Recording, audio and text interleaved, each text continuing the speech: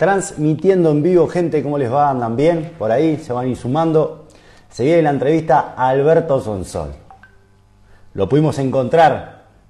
Alberto con, poco, anda siempre corto de tiempo, pero eh, ya vamos a comenzar el vivo con Alberto. Patito, hola Patito, ¿cómo estás? Estamos esperando a Alberto Sonsol que se va a sumar Vamos a esperar, ya le escribí por, por WhatsApp. Vamos a esperar. ¿Qué preguntas tenía para hacerle a Alberto Sansón? Vamos a esperar. Guillote, qué grande, Guillote. Usted siempre ahí, Guillote. ¿eh? Un saludo. ¿Qué le preguntaría a Alberto Sonsol, Guillote? ¿Tiene alguna pregunta, Guillote? Bueno, Alberto, estamos esperando, ¿eh? Creo que Alberto para la tecnología no es muy... Pero bueno, vamos a... Materias pendientes, bien. Materia... ¿Qué si debe alguna materia en el liceo? ¿Estás preguntando? Alberto, ya le mando solicitud ahí.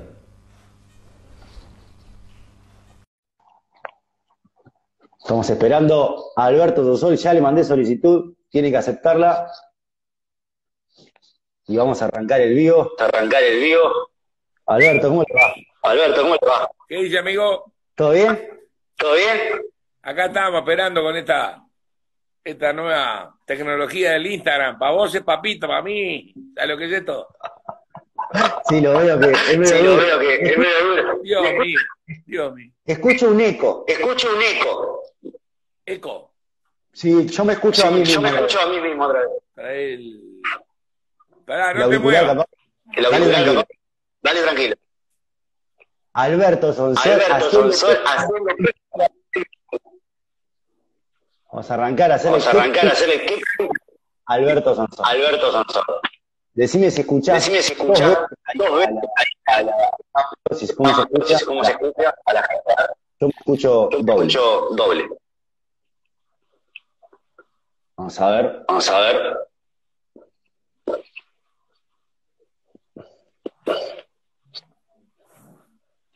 A ver, pará. Dale tranquilo, Alberto. Dale tranquilo. Alberto. Hablame. ¿Habla? Ahora sí. Hola, hola, hola. ¿Vos me escuchás ahí? Sí, impecable. Está. ¿Vos? Ahora yo también. Sí, impecable. Buenísimo. Bueno, vamos a darle. sí. Dale, vamos a darle tranquilo. Bueno, Alberto, Dale. contame. ¿Te, te pude encontrar Pará que sábado? estoy luchando con los cables, pará. Pará que estoy luchando con los cables. Vos, vos ten en cuenta que estás hablando con un dinosaurio. Ahí lo acomodé. Vamos arriba. Es bueno. Bueno, ¿Qué contame? Alberto, contame, un sábado. ¿Cómo te pude encontrar? ¿Un sábado? Sí. ¿Qué haces un sábado? ¿Hoy qué estás haciendo? Ahora estoy en casa, recién me acabo de levantar porque ayer me acosté tarde, me encanta quedarme en la cama, escuchando radio, música. Me desperté y me levanté puntualmente para hacer esto contigo, si no seguía un rato más. Después me voy a almorzar con amigos, sigo la tarde con amigos y de noche tranqui en casa. Es difícil juntarse con amigos a un hombre que, que está siempre, porque ¿cuán- un horario al de Alberto, ¿cómo es?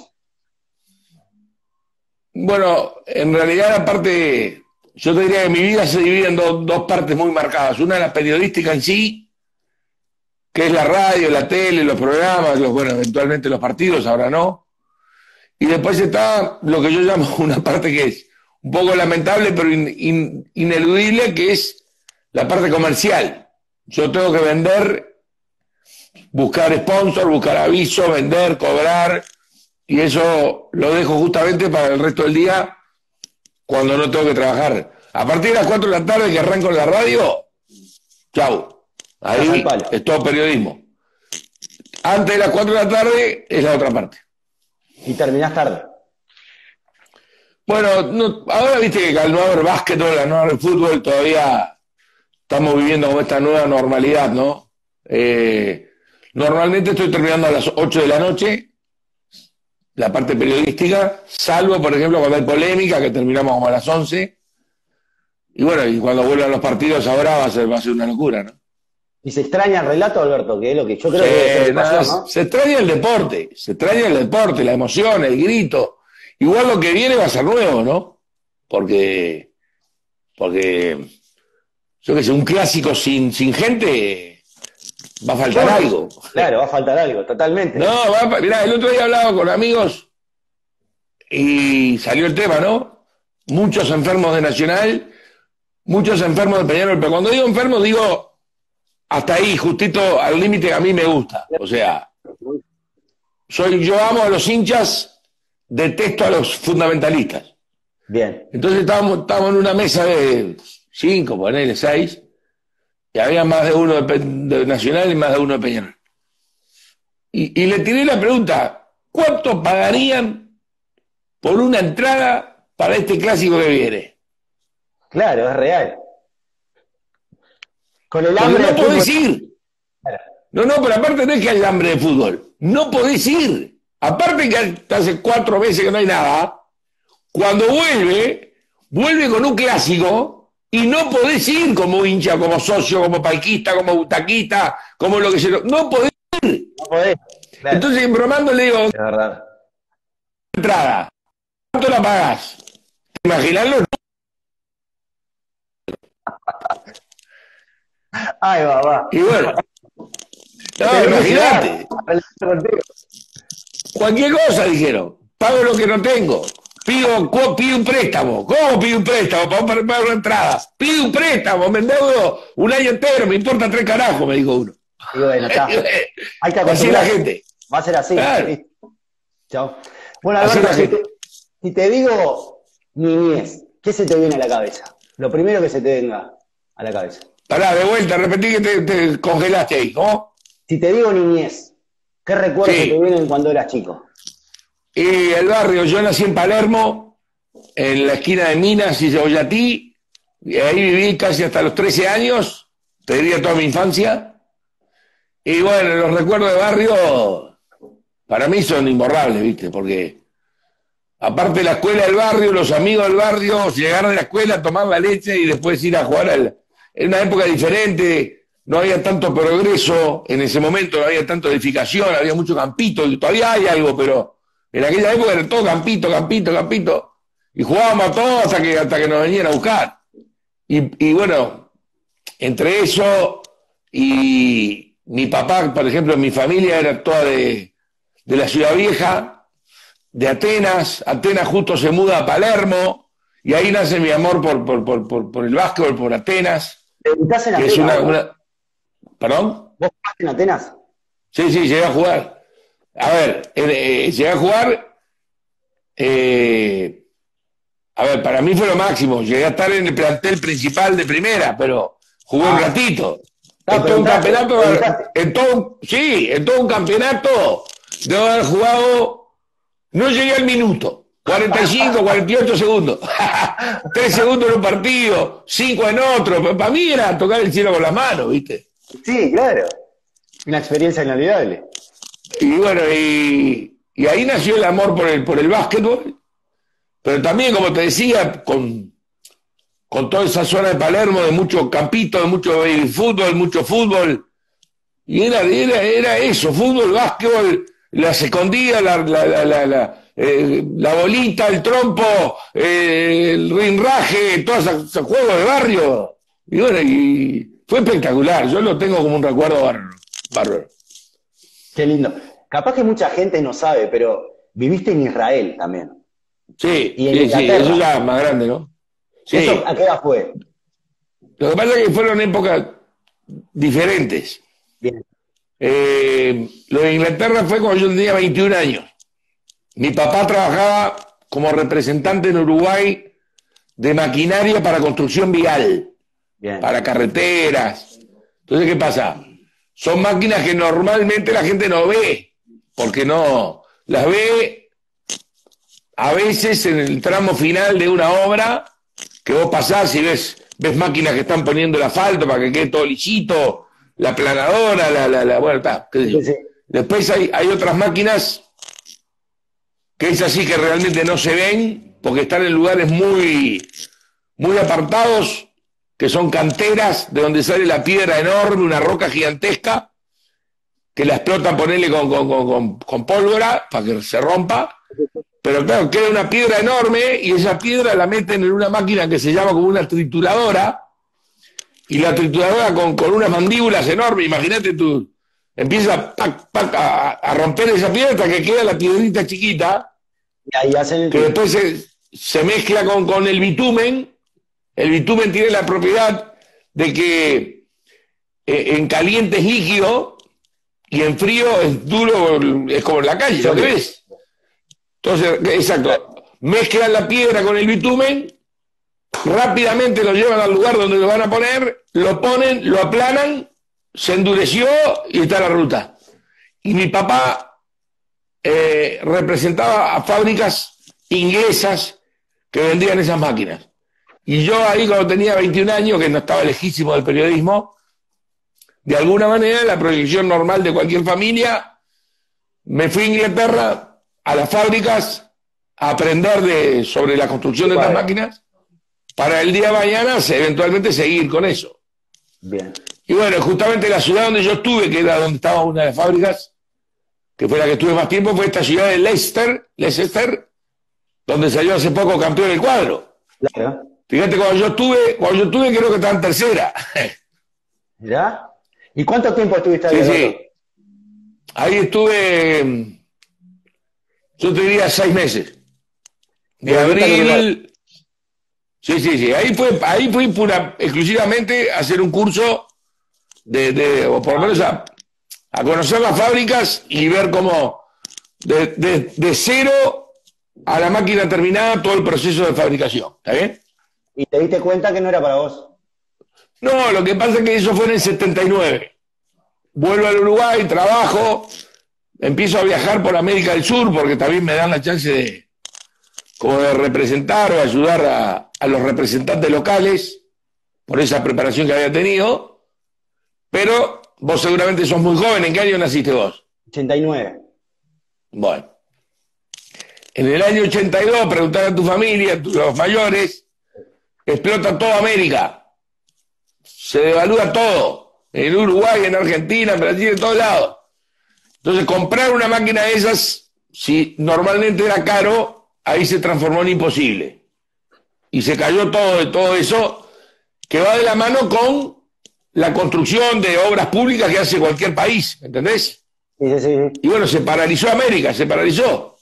Y ahí empezamos a buscar por otro lado, bueno, ¿qué hacemos?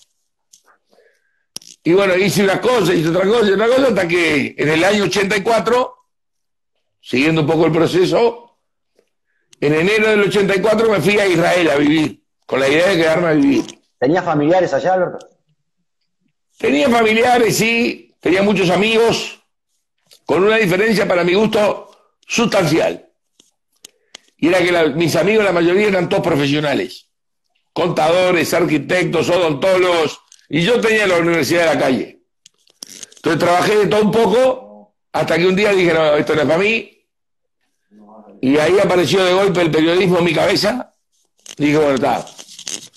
Esto es lo que más me gusta, esto es lo que amo, esto es lo que me apasiona. Acá no lo puedo hacer, no conozco el ambiente, no conozco el idioma. Me voy de Uruguay. Y ahí me fui en enero y en agosto estaba de vuelta. Mis amigos, te imaginas, estás loco. Todo el mundo. ¿Viste otra vez? No, porque viste, lo, viste cómo somos los, los yo diría los, los seres humanos en general los uruguayos también me parece en particular. Cuando les dije que me volví a Uruguay y con la intención de hacer periodismo deportivo, vos lo primero que se te ocurre es, bueno, está, vamos arriba, Alberto, con todo, ¿no? Me putearon.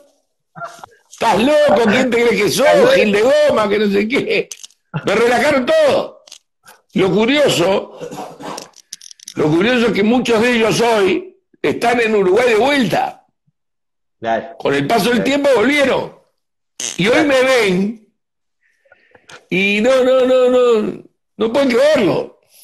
El otro día tuvimos una comida todos juntos. ¿Eh? Seguramente los viajes que has hecho de esta te habrá dejado una experiencia de vida enorme y habrás cambiado la cabeza en esos viajes y viniste con otra idea de vida, eso seguro.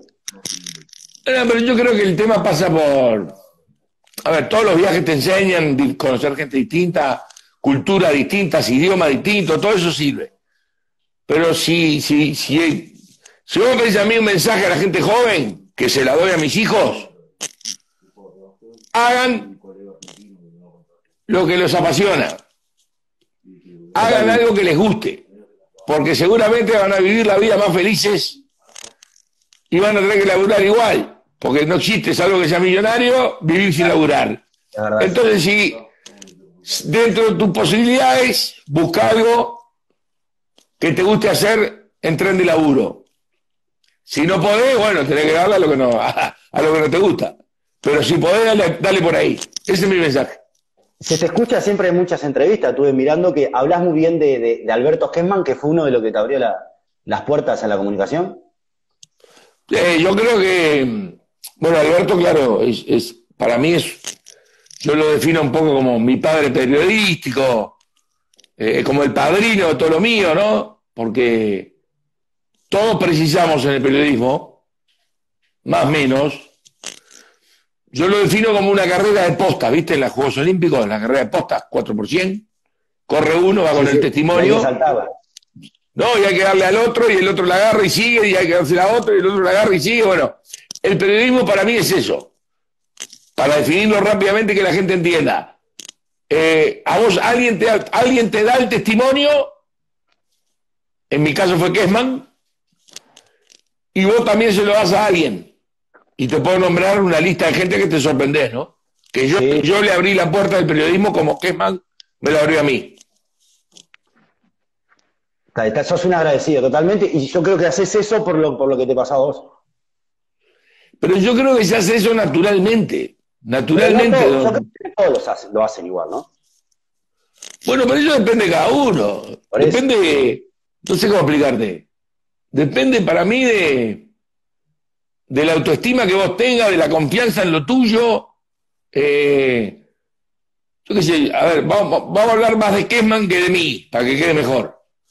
¿Vos pensás que a Kessman hoy, después de 50 años de carrera, o con 30 años de carrera, como tenía en aquel momento, o menos incluso, lo amilanaba algo? Se iba, se iba, se iba, no sé, a amedrentar de hablar con algún jugador de fútbol, con un técnico, con un político, con el presidente de la República.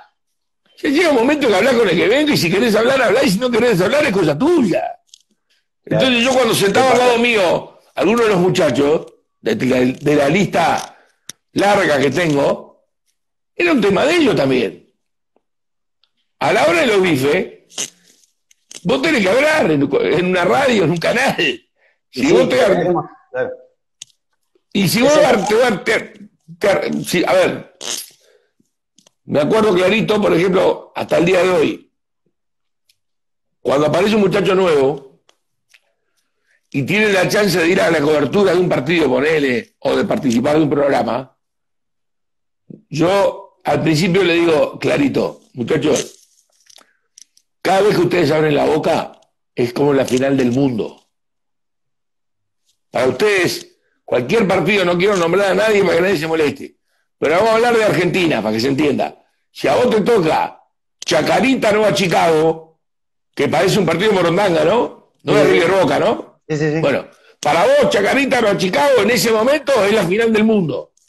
Dar lo mejor. Porque si no lo sentís así, si no lo sentís así, falta algo. Claro. Tenés que dar lo mejor que, que puedas, aunque hayan 10 personas mirando. Claro. Todo. Aunque haya 10 personas, no sabes nunca quién te está escuchando, pero para vos es la final del mundo. Y después un partido, más otro partido, más otro partido, y ahí vas formando tu, tu estilo, tu carrera, todo. ¿Te sentís hoy un periodista reconocido del- en el país? Yo creo que sos uno de los periodistas más reconocidos del país. Bueno, yo te agradezco el concepto. Yo lo que me siento, primero me siento muy contento con todo lo que estoy haciendo. Segundo, jamás me imaginé en aquel momento cuando te dije que decidí volver para hacer periodismo, uno siempre piensa en lo mejor, sueña con lo mejor, pero, pero yo creo que sobrepasó claramente la- las expectativas que yo tenía, ¿no? Porque aparte del deporte, fútbol, básquetbol, radio, tele, también se abrieron puertas en otros rubros como el entretenimiento y, y bueno, y todo eso, todo eso siento que, que es diferente, pero que es comunicar. Yo me siento un comunicador y, y si me permitís hasta el término, como una especie de showman. Claro. Tenés Una un especie de showman. sos de- sos de- Polémica en el bar también, polémica en el bar, no es deporte, no es entretenimiento, eh, eh, es entretenimiento, a veces te reís, a veces estás a los gritos, a veces te enojás, a veces... Y bueno, es parte, parte de todo, es la vida. Y Alberto, yo creo que te han pasado mil cosas en tu carrera por tantos años y lo que contás, pero una cosa que te habrá costado mucho fue cubrir el, lugar de, Rodrigo Román, un periodista que en el cual era para mí uno de los mejores relatores del fútbol uruguayo, y venir vos, un, peri- un relator de básquetbol, a cubrir a Rodrigo Román. ¿Cómo fue eso? Bueno, para, vamos a hacer una precisión. Yo ya venía relatando fútbol en la radio hacía mucho tiempo, ¿no? Sí, sí, sí, estamos hablando de televisión. No, no así televisión, muy bien. Eh, vos cuando tenés el amor por, por- por el deporte, a ver, a mí me han invitado, para que la gente se entienda, me han invitado a relatar tenis, la vuelta ciclista, la llegada, en otras épocas que llegaba al velódromo. Pero, viste, cuando vos no lo sentís, porque, porque yo fui a ver varias veces la llegada a la vuelta. Tenis no es una cosa que me enloquezca, pero yo lo que creo es que el que tiene la dinámica del relato, relata igual una carrera embolsado. ¿Está bien? Bien, claro. Después te tiene, después tiene, a ver, te pongo un ejemplo para que se entienda más. A mí me encanta, por ejemplo, los, los- los campeonatos importantes que hay de rugby. Los, los- los neozelandeses, con los Pumas, con los ingleses, con los sudafricanos. No entiendo, hay reglas del rugby que no las entiendo. Pero veo esos físicos, veo el jaca de los neozelandeses y ya, ya, ya me encantó, me atrapó, ¿me entendés? Pero me imagino Alberto jamás- sentado en el sillón no se pone a relatar. ¿Estás, estás tomándote un mate o algo te pones a relatar? No, no lo haces. No, no, no, no. Nada. Pero te digo que miro todos los deportes, pero los únicos dos deportes que me siento yo capacitado, preparado o, o- o- o con propiedad para emitir una opinión, porque los practiqué mal, pero los practiqué, básquetbol y fútbol. Yo creo que haberlo jugado, vos me dirás, pará, pero vos no jugaste profesional, no, pero jugué mucho fútbol de salón, jugué mucho fútbol de cancha. No, no, sentís, no. Te sientes, eso es real, claro, es pasión. Y sí, y sí, jugué al básquetbol, sí. Entonces, a la hora de- de- de- del relato, vos te das cuenta cosas que de repente otro no las ve, Claro, porque, claro. porque, porque te pasó. Entonces, volviendo a la pregunta original, el tema del tema romano es un tema muy puntual, porque Tenfield, de alguna manera, los motivos los tienen ellos, ¿no? Eh, yo no quiero internarme mucho en esto, porque Rodrigo fue uno de los que te decía antes, arrancó conmigo de cero. Sí, Así sí. como Kesman me abrió la puerta a mí, a Rodrigo le abrí la puerta yo. Conozco toda la vida de Rodrigo como nadie. Tenía 15 años Claro. cuando empezó conmigo. Él y Jocas, por ejemplo, Diego, los dos con diferencia de 10 días, dos semanas, por lados distintos, se contactan conmigo para empezar a hacer periodismo. Hay muchos más, pero vamos, te pongo todo para que me entiendas, porque aparte, curiosamente, la misma edad los dos. Y después cada uno hizo su camino. Y después cada uno hizo su vida. Y en la vida de cada uno, en la vida de cada uno. Ahí es un tema muy personal, muy de cada uno. Cuando Romano, cuando, cuando Romano Tempi le dice que no trabaja más, a mí me dicen, hoy quieren hablar contigo. El redactor, hoy sos vos. Si no arreglan contigo hoy, mañana van por otro, que no sé ni quién es. Entonces yo digo, para un poquito, ¿cuál es mi, mi, mi, mi pecado? ¿Cuál, es, ¿Cuál fue mi error? Ninguno. Ninguno. Lo único que hice fue hablar con Romano y decirle, escúchame, esto no corre más, voy a ir a hablar, punto. Por esa Claro, relación que tenía incluso. Eso estuviste bien, claro. Lo encaraste, le dijiste, es- eso está bien. No, bueno, pero lo que pasa es que la gente piensa una cosa y Rodrigo se ha encargado de desmentir eh, los hechos como, como mucha gente cree que fueron. La gente cree, a ver, rápido, la gente cree que a Rodrigo Tenfield lo saca por la aparición de aquellos videos. ¿Está bien? Sí, claro. ¿Cuál, es, cuál es, cuál es la, la sensación popular? ¿Cuál es? Es esa la que digo, claro. Lo sacan por el video que... Eso no es. Sí, la gente Eso no es, eso. lo dijo Romano. Sí, bueno, pero dijo. no es así. Y lo dijo Rodrigo, venía- no es por eso. Él ya venía en un problema... Él ya venía, él ya venía con diferencias, él ya venía con, con dolores, él ya venía con, con, con un montón de cosas. Él incluso había renunciado y Tempi no se lo aceptó. Sí, él contó, sí. Entonces, bueno, sí, sí, sí. Entonces ya, ya se cae eso de que lo sacaron por eso.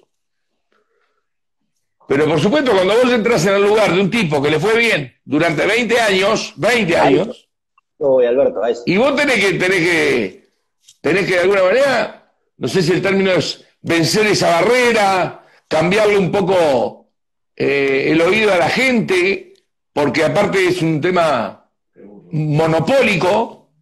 No es que no me gusta Sonsol, pongo otro canal y escucha tal otro. No, no, acá Temple tiene todo el fútbol uruguayo. Entonces ya, ya los desafíos e- eran distintos. Y bueno, y, y agarramos y estamos, estamos en carrera, punto. Chao. Y Alberto, ¿pensás que sos un tipo que, que dice lo que piensa? Totalmente. El día que no pueda decir lo que piensa, me quedo en mi casa. Porque eso también genera que mucha gente no le caiga bien. Y eso lo sabes. Sí, y, y- a otros les, les encanta. Está bien, claro. Eso es parte de, de- de- uno. No, pero yo ya tengo asumido. Uno no es, como decía el contador Damiani, uno no es pepita de oro para que, para que todo el mundo diga, ay, qué lindo Alberto, ay, qué lindo Albertito. Voy a tener gente que muy bien y gente que me va a pegar. Pero yo tengo que estar tranquilo conmigo mismo. ¿Y sabes lo que es lo más importante? Dar lo máximo de mí. Yo tengo que ser mejor que yo mismo todos los días, sin mirar a nadie. Los demás, cada uno que haga su laburo lo mejor que pueda. Y yo tengo que hacer el mío lo mejor que pueda. Si no lo hice lo mejor que pude, es porque no, no, no sé, porque no me da la capacidad, porque Natura, Natura no me ayudó. Por, por- A ver, todos quieren jugar como Messi, pero Messi hay uno No solo, puede. ¿o no? Y bueno, esto, todos tratamos de ser lo mejor. Informarnos, leer, eh, yo qué sé, yo, yo creo, pero aparte porque me gusta, no por mi laburo que me obliga. Lo haces con amor. A ver, No. yo, yo te lo voy a definir. Yo siento que vivo de lo que pagaría por hacer. Es verdad. Y sí, totalmente. ¿Entendés? Sí, Yo laburo en otra cosa que me pasó antes. Yo iba a ver los sábados y los domingos con la barra, en otra época. Íbamos todos a ver el Nacional de sábado y a Peñarol el domingo. Claro. Sí, lo haces con amor. Hoy, lamentablemente, pero o iba al básquet o la veratena. O sea que si yo tengo tiempo libre, ¿qué hago? Lo que, lo que hago laburando. ¿Entendés? Claro, claro. Y Alberto, ¿cuántos años en Tenfi? ¿Cuánto qué, perdón? ¿Cuántos años trabajando en Tenfi? Y yo te diría un poquito después que arrancó, cuando arrancó, en realidad yo en Temple me uno cuando empieza el, el básquetbol a ser televisado por Temple, ahí. Creo que fue en 2002, 2001, 2003, por ahí. Sí, casi más de 15 años seguro. No, no, sin duda, sin duda. ¿Cuándo empieza la liga? O el último federal. Creo que el último, creo que el último federal lo hace Temple y después arranca la liga enseguida. ¿Y tenés relación con Casal? ¿Cómo es? Eh, ¿O, o no se ve? No, o- a, a Paco lo veo una vez cada tres años. Nada, no lo no, veo. no. No tenés. Pero, pero cuando nos vemos bien, Alberto, cuando andaba, que hace Francisco, Paco, que yo, pipí, nada más. Eh, ¿Viste esos tipos que por su sola presencia ya, no sé cómo explicarte, marcan la cancha? Sí, totalmente. Marcan la cancha. Y bueno, está. Si hay que hablar, hablamos. Si hay que irse, hay que irse y, y no, ahí no, no. Claro, yo no molesto en absoluto, por lo menos trato de no molestar, ¿no? ¿Y qué, y qué opinión tenés de, de él como, como representante? Decir, para mí es el número uno del fútbol uruguayo, sin lugar a duda, ¿no? Olvídate, pero eso, eso no se puede ni discutir. Eso no se puede. Él cambió el fútbol uruguayo. Mucha gente le pega, otra vez. No es pepita de oro para que todo el mundo lo quiera, ni él ni nadie. Es un tipo que Mucha gente le pega. ¿no? Bueno, está, pero eso, así son los cracks. Es verdad. Los cracks son así. Los cracks son así. Los distintos son así. Entonces, un tipo que, a ver, yo lo defino como el tipo que ve, que conozco muy pocos más, ¿eh? Que ve las cosas antes que las cosas pasen. Bien, ¿Vos me entendés? entiendo. Bien, bien. Ve. ¿Viste cuando ve las cosas antes que las cosas pasen? Sí, Y no tengo muchos, muchos casos así, tengo dos o tres más.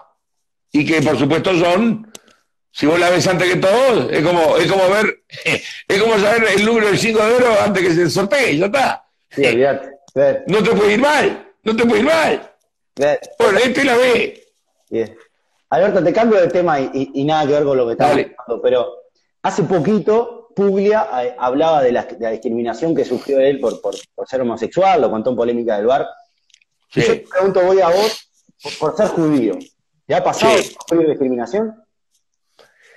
Lo que pasa es que es un tema personal, a ver, que, que existe y que, que hay mucha gente que lo primero que piensa cuando quiere ofenderte o relajarte, es lo primero que uno normalmente busca por dónde ir. O sos gordo, sos flaco, sos alto, sos bajo, o, o sos juda, o sos negro, sos puto, sos, yo qué sé. Claro. Te buscan, te buscan el lado que quieres. Eso lo tomo como parte de la vida. A mí me parece que la ofensa la mide el que la recibe. Bien. Si vos me relajás y a mí no me, reba- me resbala, me resbaló. Pero y el según- que se descalificó, el que se descalificó fuiste vos. El problema es cuando vos me relajás y a mí me ofendés. Y ahí entonces se genera un lío que es difícil salir. ¿Entendés? Pero la ofensa en cualquier rubro la mide el que la recibe. Y si vos estás firme en tu creencia, en tu postura, en tu. Decime lo que quieras, yo no voy a cambiar por lo que me digas. no, pero no es que te pase seguido o, pasas insulto de No, pasa, ¿te pasa, pasa? pasa. No, pasa. No, no, no sé si el término es seguido, me ha pasado. Pero también te repito, depende cómo, depende quién, depende de qué manera. Algunos te lo dicen riéndose, otros te lo dicen calientes de verdad. Entonces sos vos el que, el que- el que mide. ¿Este me lo dijo en broma o este me lo dijo? ¿Quién define eso? El que lo recibe. Claro, es como lo tomás vos. Y no, tenés que tomar- no te puedes enojar con todo, no te puedes enojar lo que pasa tampoco. No, hay, hay momentos que, que saltás y hay momentos que, que, que no. Yo qué sé. Hay un caso muy, muy sonado hace relativamente poco. Me pasó con Damiani, con Juan Pedro. Y bueno, está súper aclarado. Se deshizo en disculpas. Ya está, pasó. Yo no lo escuché en el momento. Pero todo el mundo me dijo y, y él mismo me llamó para disculparse, punto. Terminó. Está bien. Hay gente, hay gente de la colectividad que me llamaba para decirle tenés que matarlo. Y yo no mato a nadie. Yo, para mí, el, el diálogo, hablar, me calentaré como se ve, sí, pero hablando, ¿no? Bien, Alberto, te hago, te hago una, una, una, una pregunta cambiando de tema, porque estamos, te dije 40 minutos, me quedan 7. Pero hablemos un poco de la familia. Es Alberto que capaz que no conocemos mucho. ¿Qué es tu familia para vos, Alberto? Porque tres hijos, tu señora, ¿de cuántos años hace de casado que estás? 32. Claro, una vida. Es un montón, sí. Eh, y yo creo que, que tal vez suene como una frase, como una frase hecha, ¿no? Pero es como un sostén. Con, mi mujer puntual es como un bastón. Si Bien. ella no está al lado mío, siento que me caigo. Pero después el entorno familiar y con mis hijos trabajando conmigo, hace de esto un tema, te diría, diario, cotidiano, eh, nos enojamos, nos reímos. Yo qué sé. A veces cuando los escucho que decir que tienen un maestro en casa me enorgullece tremendamente y a los dos minutos me están relajando todo. Pero bueno, está, es la vida, es la vida, es lo que, es como es, y estoy muy feliz de la familia que formamos. Después de ahí, como te dije, a los primeros que les digo, eh, disfruten todo lo que puedan de, de, de, de lo que hagan y van a ser más felices, es a mis hijos. Y me imagino que debe ser un regalo enorme que dos de tus hijos trabajen en, lo que vos haces también, ¿no? Sí, pero otra vez, por más que sean mis hijos, si los pones con un micrófono o con una cámara y se abatatan, se achuchan, no hablan, tartamudean, chao, fuiste. Chao, es No real. hay hijo que valga. Esto Claro. es como que Alberto ponga el hijo a Martín y Martín Kerman es un desastre. Y por más Kerman que haya, eh, no, no- no hay lo que hacer. Y sí, está en claro. Está en él. Es cada uno. Ahora la gente se enoja, ¿verdad? que pone a los hijos, queman, son sol, eh. y si es la ley de la vida. Si es la ley de la vida. Mi papá, no te dije en el arranque, mi papá vendía máquina. ¿Qué hice yo? Fui a tratar de vender máquina. Claro, obvio. Eh, eh, eh, zapatero, zapato, eh, ropa, ropa. Eh, ¿Es así o no? Es re- sí, todo lo haríamos, es real eso, claro. En líneas generales, digo, en líneas generales es así. Sí, claro, es real. El, pe- periodismo no. No, periodismo no, porque no. No se puede. bien. Alberto, para cerrar te voy a hacer un juego. Dale. Sí, Es un juego de 17 preguntas o palabras que Uh. yo te voy a hacer y vos las tenés que contestar en el menor tiempo posible y lo más breve. Puede ser con una palabra o con una frase como vos quieras. ¿Te parece? Dale. A ver. Escuchamos. Dale. ¿Polémica en el bar o la hora de los deportes? No, por ahora la hora de los deportes. Eh, la hora de los deportes es mi cuarto hijo. Bien. ¿Relatar básquetbol o fútbol? Es como que me digas, ¿a quién querés más? ¿A tu mamá o a tu hija? A las dos. Son amores distintos. Bien. ¿Tus hijos? Lo máximo. Me arrepiento de... Eh, de no haber tenido control en más de una situación de mi vida, pero por otro lado, eso mismo fue una experiencia. Bien. Una obsesión por... ¿Una qué? ¿Obsesión? No, no, no, obsesión ninguna. Poner lo máximo en todo, sí, pero obsesión, así que, que no duermo de noche, por eso no. Una cábala. No tengo, no tengo. Un deseo. Ah, salud, vida, poder seguir haciendo esto que hago, ver, ver, ver este a mis hijos solidificarse y calculo que dentro de un poco va a venir un nieto, calculo yo. La fama. Es puro cuento, Si tuvieras, que, si tuvieras que mencionar un momento difícil en tu vida, ¿cuál sería?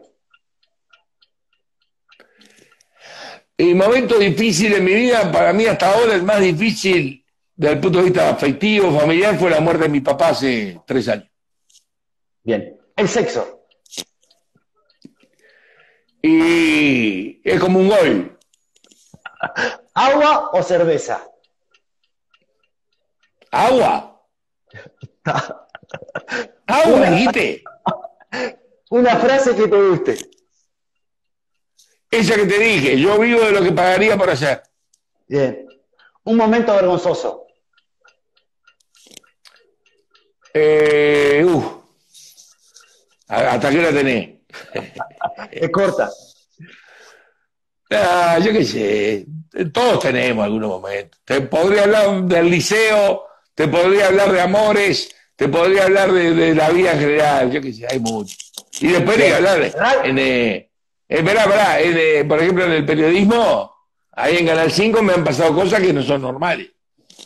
Pero un día estaba, eh, para que te ubiques, el Claro. Chandy, que vos sabés lo que es el Chandy, ¿no? Sí. Sí, este, la corrección, todo un, un- un- un diplomático, ¿no? Y entonces invitamos al programa, me acuerdo, año noventa y pico, a Gregorio Pérez. Uh, Y, y entonces empezamos la nota con Gregorio y había un aviso que teníamos, que el aviso arrancaba con unas letras en toda la pantalla tipo crónica que decía testimonio de un delincuente. Bien. Justo ese aviso estaba primero en, en la tanda, ¿entendés? Sí, sí. Y alguien sin querer en el control, mientras estaba hablando Gregorio, aprieta y aparece en la pantalla testimonio de un delincuente. Oh, y apareció Gregorio. ¿Vos te imaginás? Lo más lindo que Gregorio, ni nosotros, porque, porque eso no salía en el monitor que estaba al aire, salía al aire en las casas. Ni nos dimos cuenta. Seguimos la nota normal, terminó la nota, Gregorio se fue, y a la media hora vuelve hecho un volcán. Porque la familia estaba mirando y le dijo, nos quería matar. Y nosotros nos agarramos la cabeza. Qué vergüenza, qué horrible. Igual no tenía nada que ver. Sí, pero es- anda a explicarle. Pero anda a explicarle. Bueno, te hago dos más, Alberto. Eh, ¿Radio o tele? Pa, que, que, que- Para mí la radio es mágica. Bien. La tele, la tele es multitudinaria, pero la radio es mágica. Bien. Porque vos en la radio, en la radio imaginás. En la tele se acabó la imaginación. Está viendo. Bien, una canción. Ah. Yo tengo muchas, pero, pero hay algunos, eh, algunos cantantes que a mí me marcaron en mi vida. Uno fue Sandro, de pibe. Este, Rosa, Rosa de Sandro es un himno para mí. Y hay varias de Jaime Ross que me encantan. Hay una que es la, la- se llama De la Canilla, que es brutal pero está por ahí. Y después, en honor a mi padre, alguna de Frank Sinatra. Bien. Y si tuviera, la última te hago, Alberto. Y si tuvieras que tomarte algo con alguien que ya no esté en este mundo, ¿con quién lo harías? Pará, pará, que se cortó justo. ¿Alguien qué? ¿Me escuchás ahí? Ahora sí. Sí. Si tuviera que tuvieras- tomar algo, Con alguien que no esté en este mundo. Y mi viejo, ¿no? Bien. Sí, mi viejo, mi viejo. Sí, sí. Sin duda. Bien, Alberto, hiciste 3 minutos 25, te paré un poco el reloj ahí. Y la idea de, de- de este juego es que yo le haga el mismo, lo mismo que te dice vos a otro periodista que vos desafíes y también le haga una entrevista. ¿A quién se la puedo hacer? Esto mismo, hacéselo a Osquita Arbelo. Bien, Oscar Velo. Bien, me gustó, me gustó. Gran Alberto, muchacho. Bueno, primero agradecerte porque un día de descanso, Dale. estabas durmiendo dale. y te molesté y de verdad, muchísimas gracias y sos una persona con la cual admiro, que veo que vivís al palo y, y muchas gracias de verdad. Bueno, yo te, te agradezco a vos y, y valoro, ¿sabes qué? Tu perseverancia. Porque hace como un mes que me estás triturando para estar acá. ¿eh? ¿Hay que hacer así o no? Muy bien, justamente una de las cualidades fundamentales, pero no para esto, ¿eh? para cualquier actividad de la vida, no aflojar. Gracias. Arriba. Gracias. Abrazo grande, Alberto. Que pase bien. Igualmente para vos, Fabricio, chao.